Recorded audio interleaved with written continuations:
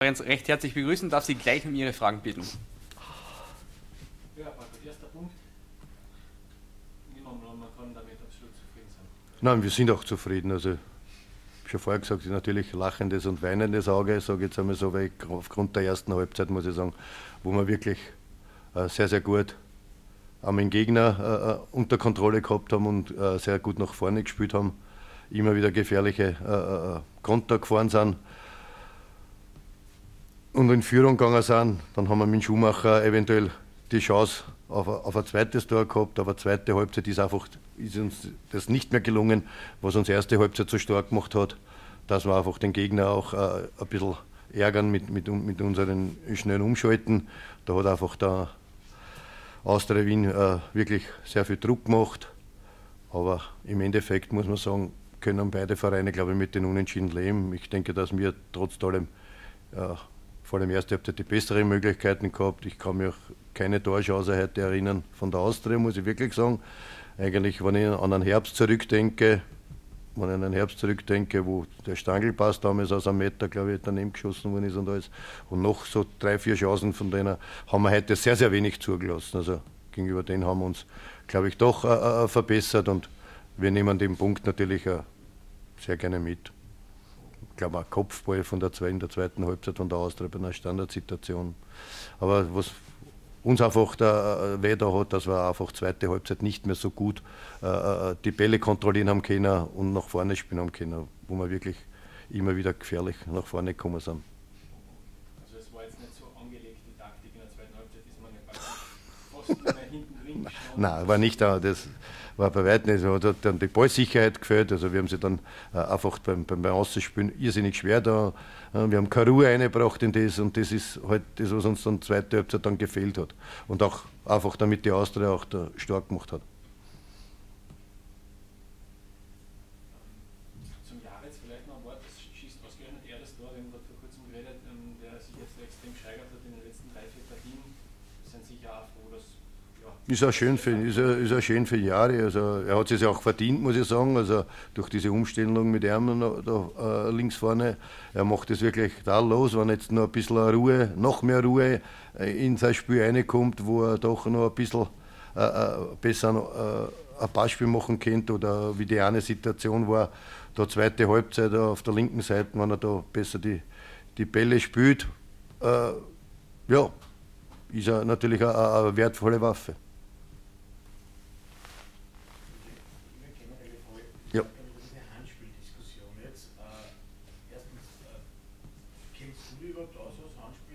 Also wir haben ja vorigen Freitag, die Bundesliga-Trainer haben ja vorigen Freitag haben wir ja diese, äh, diese, diese Tagung gehabt. Sie haben sich ja gegenseitig, die zwei Herren von der Schiedsrichterkommission, waren sich eh einig, auch dort passieren Fehler. Also, also eigentlich braucht es keinen Wahr, weil Früher sind die Leute am Sonntag gesessen beim Wirten und haben diskutiert, was gestern falsch gepfiffen worden ist. Und bei der Situation sind wir jetzt schon wieder. Aber anders gesagt muss ich ja dazu sagen, der Spieler, der was bei der Austria einen Ausgleich gemacht hat, hätte zu diesem Zeitpunkt auch nicht mehr am Platz stehen dürfen. Na, dann schaut sich einmal das fast ihnen genau an. Ja, und dann gibt er die zweite. Würde dann gelb-rot bedeuten. Hm? Also, na, bei uns ist am Freitag auch wieder erklärt worden oder gesagt worden, wie, wie die Auslegung ist, bei, ob du angeschossen wirst oder, oder ob die Haare. Ich kann, also, jetzt, wenn ich, wenn ich darauf antworten muss, für mich war es kein, kein Handspiel. Weder, weder Absicht, steht das so und der schießt. So, was soll ich jetzt mit den Händen machen? Ja, also,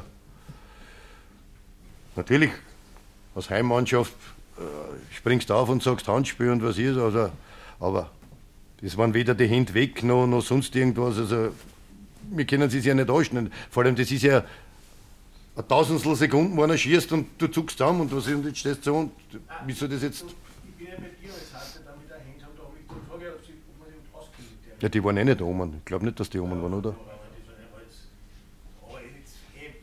Also, also ich, ich glaube, er hat ihm nicht angehört wie ein Dormer, sagen wir so. Und damit ist Geschmissen hat er sich nicht danach. Das, kann man das ausschließen, dass er sich geschmissen hat danach? Ja, Ja, nein, eben, das war auch bei der Schiedsrichter, also in dieser Stunde, was wir da über den War geredet haben, äh, waren wirklich auch Situationen und da ist uns erklärt worden, dass es wirklich extrem jetzt mit diesem Handspiel, ja, na und so weiter und so fort. Wenn ich, wenn ich nur vor ein paar Wochen an die zwei Szenen denke, bei WRC gegen Salzburg, die Elfmeterentscheidungen jedes Mal zurückgenommen wurden, obwohl der Schiedsrichter klar sagt, na, wird. Oder Sturm, oder Sturm Graz, oder Sturm Graz. Ja. Ah, Sturm Graz, ja. Auch in den letzten Minuten da. Also da, wie gesagt, wir sind noch immer, im Endeffekt sind wir genau dort, wo der Fußball früher angefangen hat. Wir dann diskutieren über, über, über eine Entscheidung. Und das macht den, den Fußball einfach Bitte. so attraktiv. Stefan Olaf von Önius, ich habe gemerkt, nach dem Spiel haben Sie sich mit Manfred Schmidt sehr ausgetauscht. War das über Spiel oder? Nein, wir haben gratuliert zum neuen Teamchef. Nein, aber ich meine. Ja, jetzt hat er sich wieder. Hab, also, also äh, haben, Sie, haben Sie überredet dazu? Ich habe hab gesagt, du kannst das. In zehn Jahren. Nein, es ist, wir haben ein sehr, sehr gutes Nicht-Verhältnis. Verhältnis hat man mit seiner Frau, oder wie das heißt, oder muss man aufpassen. Aber wir sind, wir sind sehr, sehr, immer sehr gut in Kontakt. Also wir sind immer, immer, immer nett mit ihm zum Plaudern und wir sind auch so immer in Kontakt. Und, und ist es nicht um diese strittigen Szenen gegangen? Nein, überhaupt nicht. Über das haben wir, ich habe nur gesagt, äh, ich habe nur zu ihm gesagt, dass man ohne einer Torschuss eins anspielt, so wie es ist auch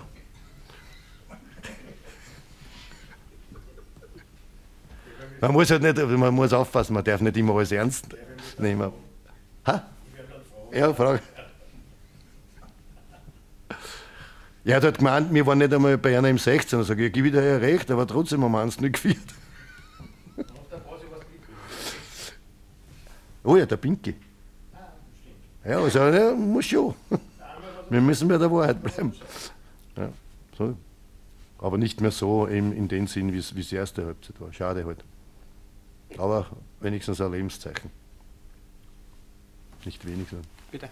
Wir haben unter der Woche noch mal kurz gesprochen über das Thema Spielglück bzw. einen Spielverlauf, der wieder in die Richtung geht, dass man in Führung geht und dass man kompakt bleibt, nicht blöde Tore kriegt. Wie wichtig ist das für einen Trainer und auch für die Mannschaft? Sie sagen gerade Lebenszeichen, dass man das als Push vielleicht jetzt auch mitnimmt für die nächsten Spiele, dass es ja. genau so wie im Herbst mal wieder gehen kann. Vor allem jetzt wieder von einer sehr guten Kulisse da auswärts einzeln in Führung gehen vor allem für das, dass du vorher äh, schon zweimal äh, verloren hast. Heutigen Spieler haben das aber eh nicht mehr, so im Kopf, wie es vielleicht äh, früher war, aber trotz allem von Spieler schauen ja auf die Statistik, auf die, das wird ja immer bleiben.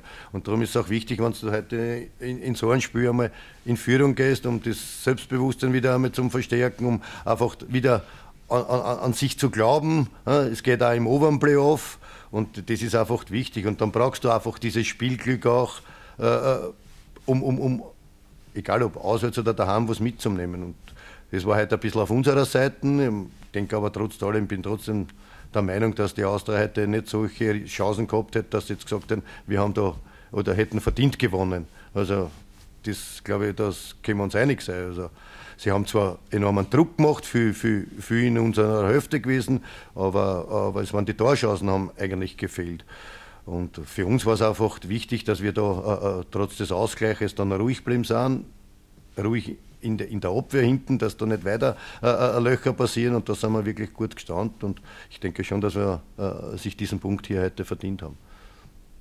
Und das ist natürlich auch jetzt für die nächsten Spiele, jetzt kommt Salzburg schon, also ich, mir geistert eh schon das ich spiele Salzburg im Kopf herum, weil für mich ist schon wieder nach dem Spiel ist schon wieder vor dem Spiel, äh, was man da für Lösungen dann gegen Salzburg. Äh, ich weiß natürlich, in dieser Woche wird natürlich wieder kommen, wir sind der einzige Verein, der was bei dir jetzt ERP geschlagen hat daheim.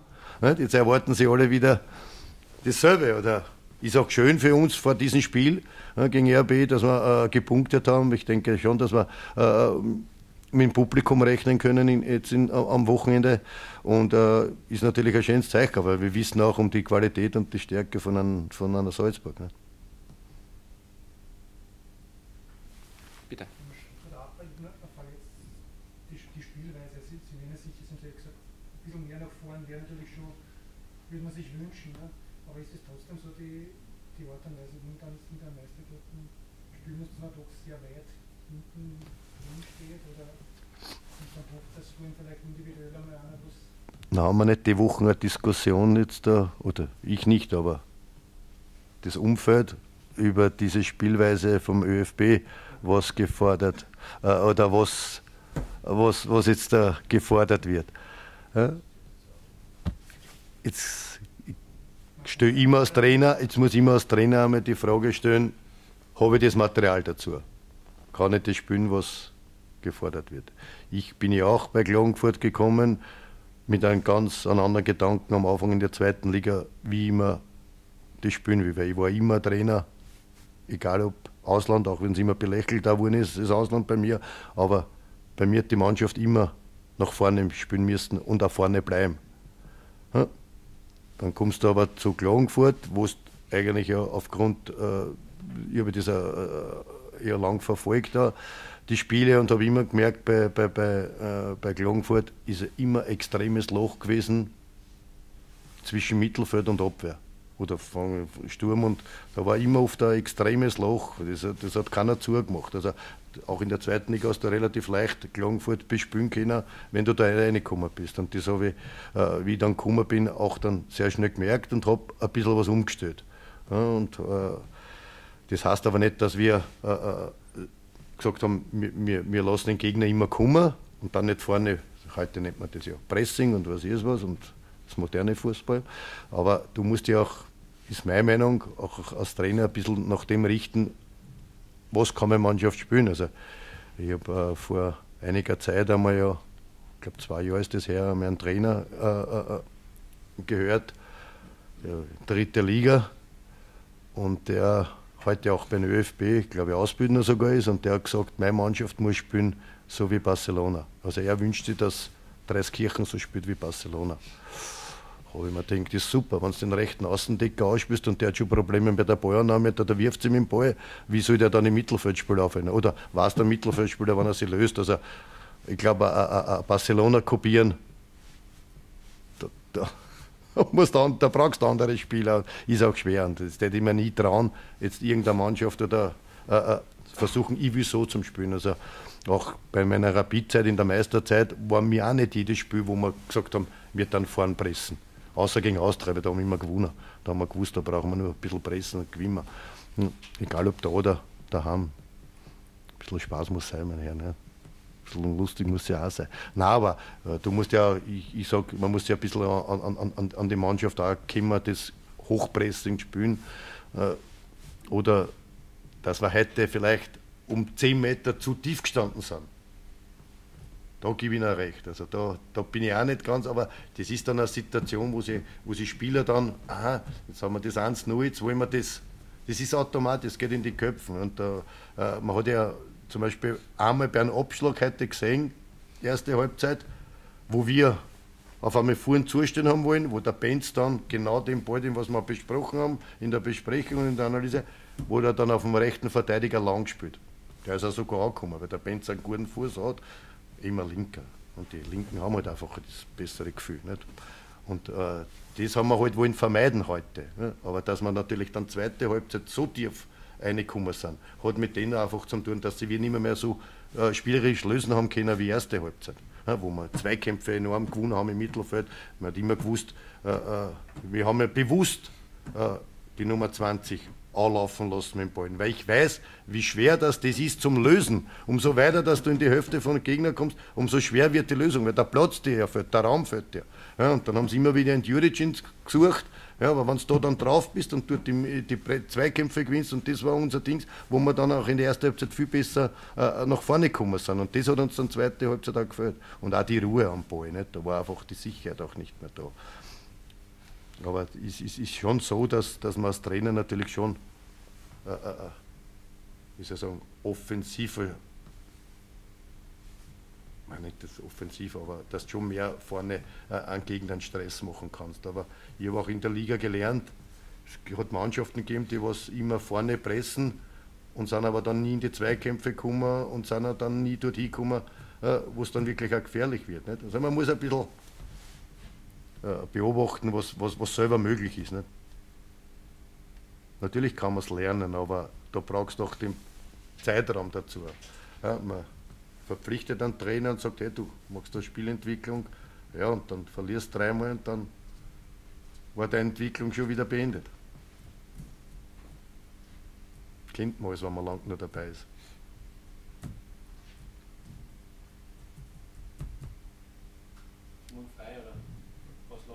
Ja, bis in der Früh. Bis, man, bis, bis zum Trainingsbeginn ist frei. Ja.